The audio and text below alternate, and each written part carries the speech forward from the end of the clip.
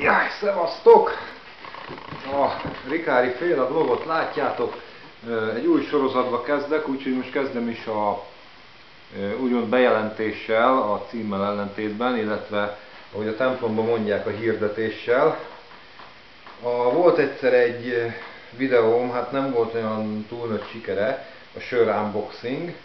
A sikertelenség ellenére úgy gondoltam, hogy ebből sorozatot csinálok, és nem azért, mert hogy sikertelen volt, és hogy most én ezt tovább tudnám fejleszteni, hanem azért, mert igazából az azért nem volt sikeres, mert nem volt eléggé hiteles. Tehát az, az ki a kutyát érdekli, hogy két videóban megiszok egy üveg sört, és szabadkozok, hogy hát ilyet nem fogtok tőlem látni, hogy én sörözök. Nem, nem, nem.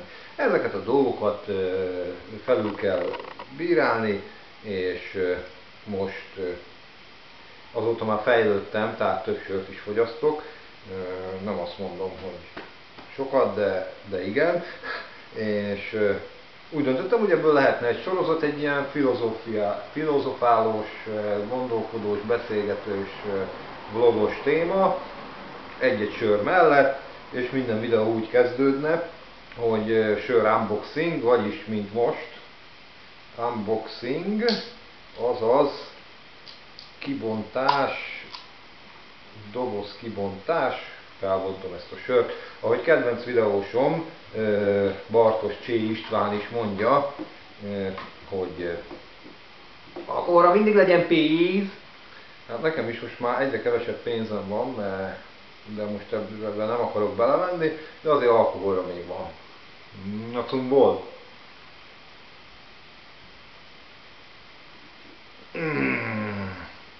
És akkor jöjjön a téma, aminek körülbelül az lesz a címe, hogy az értelmiség hanyatlása. Hát nem tudom, hogy régen, meg máskor, meg hogy állt az értelmiség. Én, hát hogy mondjam, állítólag engem is az értelmiség közé sorolnak, bár nincsen csak egy szaros ilyen BSC és közlekedésmérnök végzettségem, az se olyan régóta, 40 évesen sikerült megszereznem.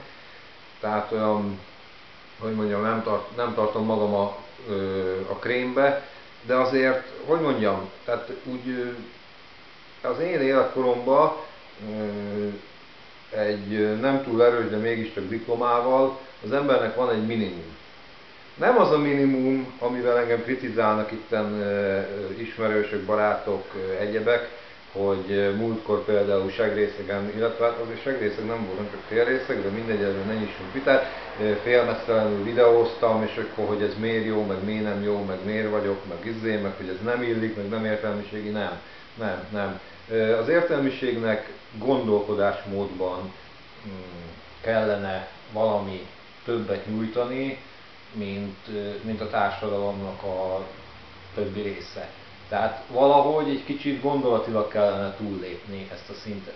Én azt tapasztalom egyébként, most ezen a héten Szabin voltam, volt időm néhány barátommal találkozni, volt időm Facebookon is társalogni emberekkel, akikkel ugye nem tudtam találkozni, vagy nem akartam, és, és azt tapasztaltam, hogy hát az értelmiség tisztelt a kivételnek, de legalábbis az én környezetemben a béka segge alatt van. Tehát most, hogy is mondjam, kivel is, mivel is kezdjem, itt nem fogok azért annyira neveket emlegetni, vagy ha emlegetek, akkor álneveket, mert hogy nem akarom, hogy letöröltessék ezt a videót.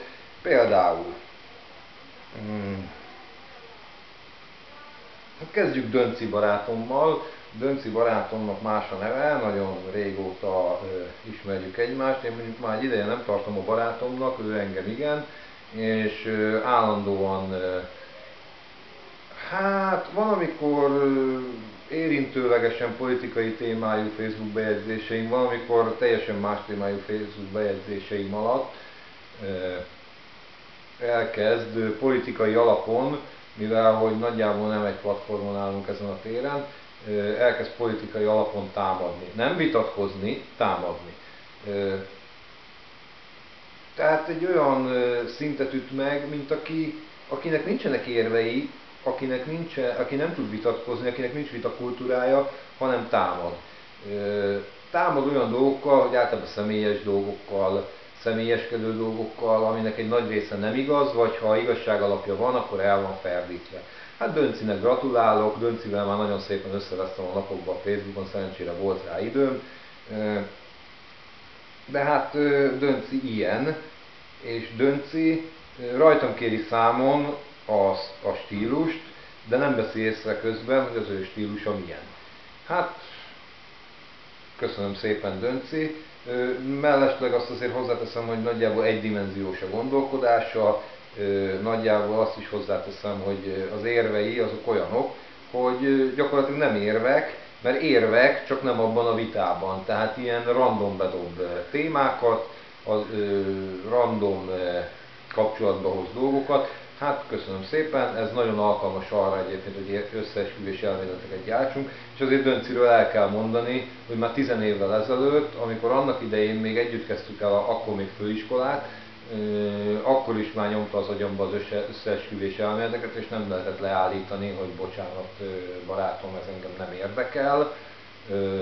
Akkor is mondta, mert közölte, hogy ezzel nekem foglalkoznom kell, mert kötelességem, mert ez izé, mert ez a közélet, ez az én életem, meg stb. stb.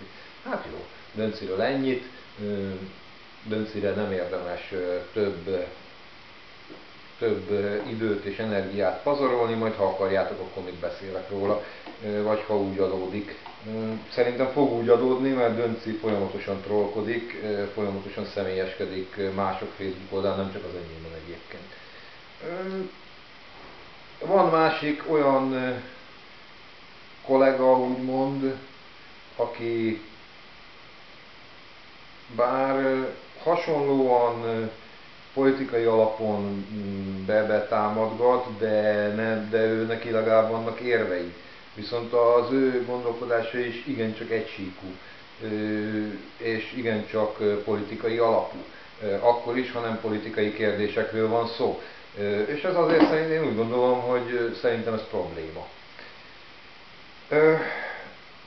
Megint másik, szintén hozzám hasonlóan értelmiségi fél értelmiségi, izé, bár őt inkább értelmiséginek tartom, ő szakmailag, szakmailag ragad bele bizonyos dogmákba. Szakmailag nem tud túllépni bizonyos dolgokon. Az idő már rég túlhaladta, a szakma már rég túlhaladta, de de vannak, akik egyszerűen beleragadnak a múltba. Ö, hogy mondjam, én nem is, nem is, ellen, nem is, nem is ragoznám ezt tovább. Akkor például nagyon, nagyon-nagyon, és talán most az utóbbi napoknak ez a, ez a legkeményebb tapasztalata, amikor egy igazi tényleg jó családból származó, polgári életet élő, példás családi életet élő,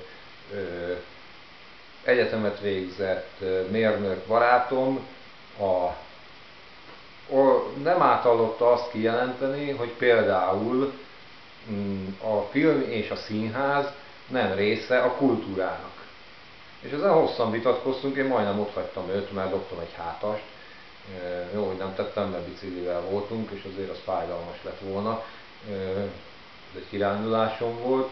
És hosszas vita, hosszas kérdezősködés után még nagyon sokat visszakérdeztem, jobbról, balról, innen, onnan kérdezősködtem, hogy de hát mégis. És, és kötötte az ebet a karóhoz, hogy nem, nem, akkor is, ha például van olyan film, ami értékes, az akkor sem része a kultúrának, mert az az, az nem elég régi, meg nem tudom én miket, nem elég mélyen ivódott bele a közösség életébe. Jó, egyébként a, kultúra közösségi mi volt, tehát azt nem tagadom, sőt, hozzáteszem, hogy valószínűleg ez a kultúrának a fogalmába talán bele is tartozik, bár nem googliztam ki a kultúra pontos fogalmát, azt hiszem erről egy képnek kell lenni az ember fejében, nem pedig Google-ból nézegetni, hogy mit jelent. Szóval szerintem is egy közösségi dolog a kultúra, de azért azt kijelenteni, hogy mondjuk a film, ami ha nem is interaktív, de mégiscsak néhány ilyen réteg kultúrát, réteg mm, alkotást leszámítva, azért, de még az is közösségi élmény, ezt, ezt aláírom.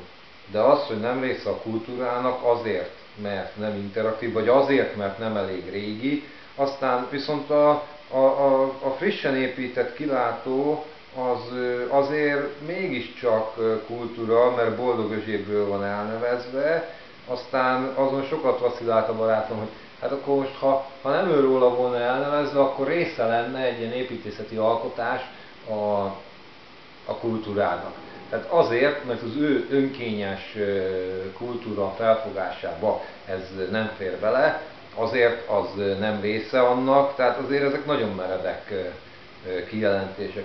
És akkor már ne is beszéljünk a, a, a legdurvábbról, aki szintén egyetemet végzett, majdnem doktorát is,